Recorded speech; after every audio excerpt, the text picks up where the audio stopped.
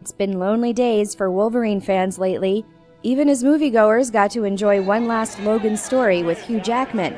He may seem like an irreplaceable hero to the casual fans, but the death of Wolverine brought his career to an end back in 2014, concluding with Logan encased in a block of unbreakable adamantium.